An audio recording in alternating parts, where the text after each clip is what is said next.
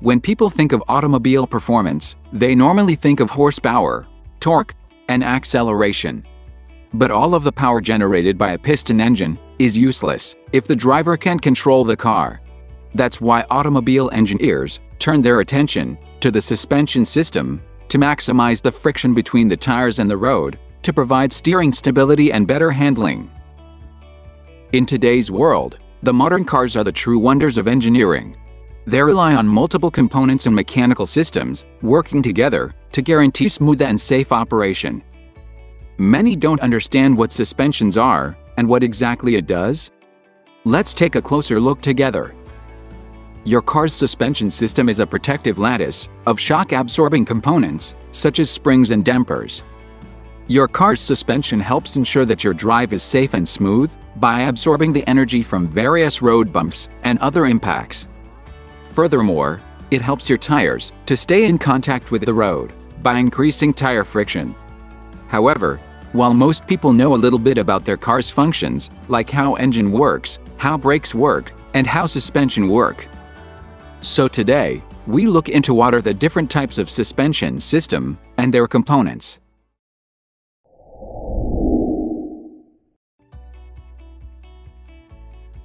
Suspension comes with two basic components, such as springs and dampers. Now let's find out how these components works, starting with the springs. Springs hmm. act as reservoirs of energy. When the vehicle passes over irregularities of the road, it compresses the spring.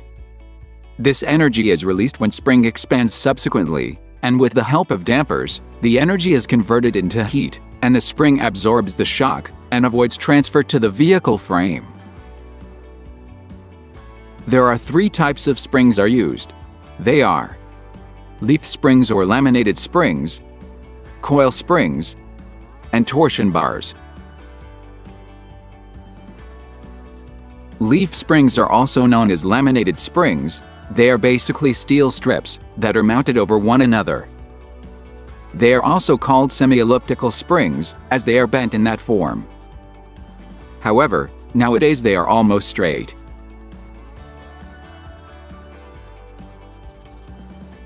Coil springs can have constant and variable rigidity. Items with constant stiffness have the same diameter on both ends. As for the second type, the diameter of spring and rod vary on different ranges. In the center of both spring types, a rubber bump stop is installed. This detail is required to smoothen fluctuations and prevent springs damage when it is fully compressed.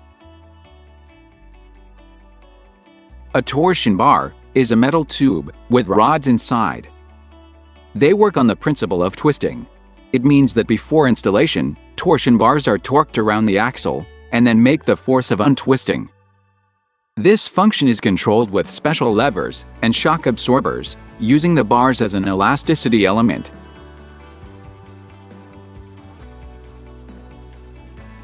Dampers, commonly known as shock absorbers, protect the chassis from the force caused when a wheel hits a bump and prevents the springs from continuously bouncing. They also push the wheel back to the road surface. A damper is a piston filled with oil that separates the chassis from the wheel. When the car hits a bump, the piston pushes into the casing and is slowed by the oil, which flows into another chamber as it's compressed.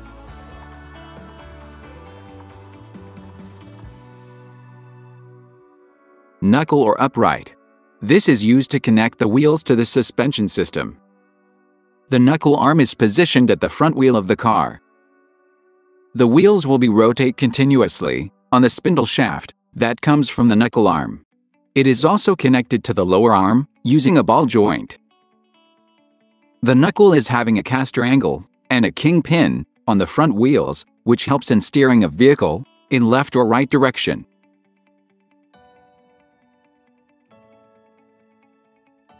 Strut. Strut is main component of suspension system.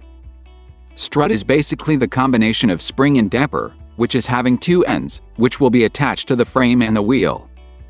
Spring is used to store kinetic energy into potential energy, and damper dissipates the kinetic energy into heat energy.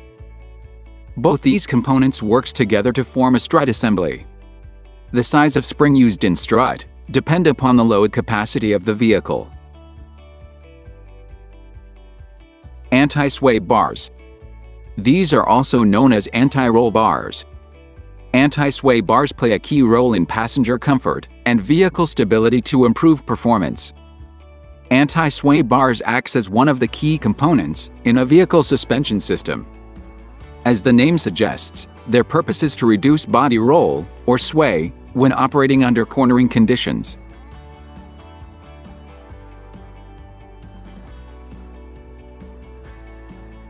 The ball joint functions to accept various lateral and horizontal loads on the car. It is also helpful as a rotation axis when the vehicle is turning. Ball joints consist of a metal housing and stud. The stud is able to swing and rotate within the housing. In this joint, you will usually find helpful oil for lubricating the various parts that rub against each other. The grease lubrication is also provided in the socket of ball joint. There are two types of ball joints, namely upper ball joints and lower ball joints. If there is no oil, the friction will not work correctly, and the ball joint will tend not to function properly. And it sounds like this.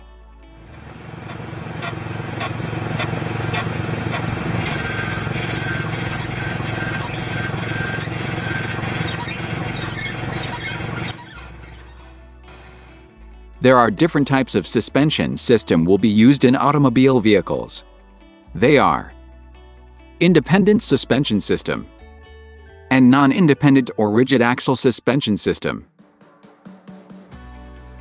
Independent suspension system Independent suspension is an automobile suspension system that allows each wheel on the same axle to move vertically and independently of the others. In this system, the wheels are linked movement on one side does not affect the wheel on the other side. It is common for the left and right sides of the suspension to be connected with anti-roll bars or other mechanisms. Most modern vehicles have independent front suspension. Many vehicles also have an independent rear suspension. It has almost same advantages of the independent front suspension, but the main advantage that it reduces the unsprung weight of the vehicle. In independent suspension, there are various types are available. They are MacPherson strut suspension, double wishbone suspension, multi-link suspension, and trailing arm suspension. MacPherson strut assembly Earl S. MacPherson, an engineer with Ford USA, developed a single wishbone with a telescopic strut-type system in 1947. Both the strut and lower control arm are connected to the frame of the vehicle with a flexible joint. In the whole system, the main component is the strut. It consists of spring and a damper. When the vehicle comes in contact with the irregularities of the road, the wheel moves up and down on the radius of the lower link.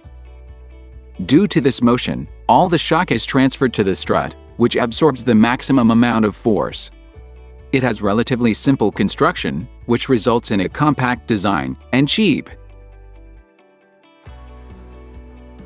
Double wishbone suspension system. In this system, the wheel is mounted on the wheel hub. The wheel hub is provided with two links, that is upper link and a lower link. Both the links are pivoted with the frame of the vehicle. A shock absorber is also placed between the frame and the lower link, which consists of a flexible joint. When the vehicle moves on uneven surfaces, the wheel faces shocks. These shocks are transferred to the shock absorber through the lower link. The shock absorber absorbs the maximum amount of shocks. The upper link is used to maintain the camber of the wheel.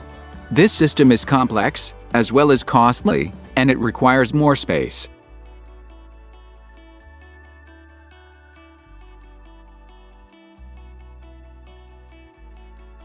Multilink is a suspension developed by Double Wishbone and Multilink that has a fairly complicated construction design because it has separate parts that are held together by joints.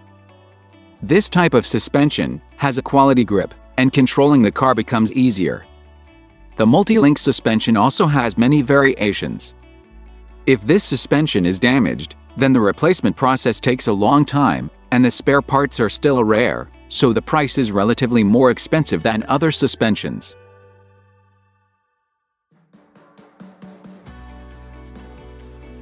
Trailing arm independent suspension maintains constant track and wheel altitude, with a slight change in wheelbase and caster angle.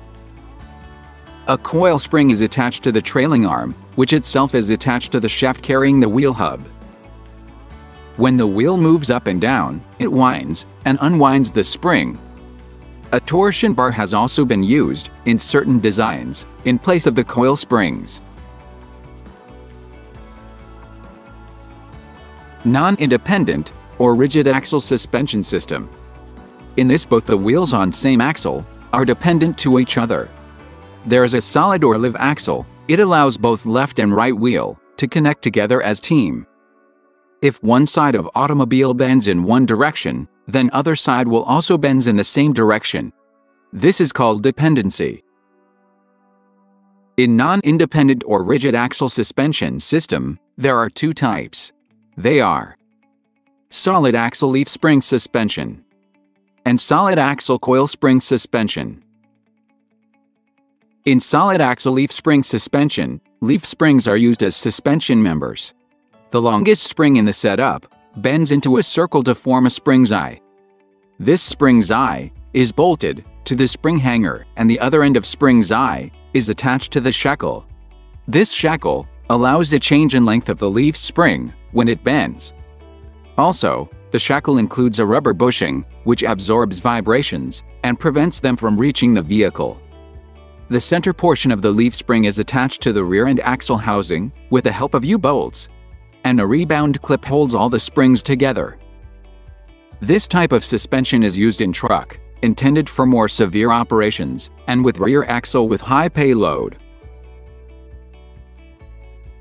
Solid axle coil spring suspension. In this type, the coil springs are seated on pen-shaped brackets, which are attached to the rear axle. Torque tube drives are also attached to this setup, and the coil springs are not subjected to the driving thrust. The shock absorbers prevent the vehicle from rolling, and the energy stored in the coil springs is greater than the leaf springs. This type of suspension is always used in conjunction with torque tube, torque reaction link, or torque rod drive. Therefore the coil springs are not subjected to driving thrust or twist. In air suspension system, air spring is used instead of a mechanical spring. Air spring has a higher load carrying capacity than mechanical spring. Air spring also has the advantage of variable spring rate by adjusting air pressure, which is not possible in the case of mechanical spring. In air spring, two ends are provided, one is mounted on the frame, and the other is to the swing arm. Three connection lines, which are pressure line, return line, and control line, are also provided for the operation and control. In this type of suspension system, there is an integrated fluid-filled displacer fitted to each wheel. The front and rear units were connected, making them two pairs. The units were filled with a mixture of alcohol, water and additives to prevent corrosion. When wheel on one side of the car hit a bump in the road, the fluid was displaced and caused the unit on the other wheel to react. In this way, a bump at the front made the rear of the car rise to a corresponding height and the car always remained level. So that's it, that's all about the suspension system. If you think I have missed anything, then please let me know in the comments. So now you know everything about suspension system, but the transmission is also one of the most important function in automobile vehicles. There are different types of transmissions are available. Click on this video and find out which type of transmission is better for your new car.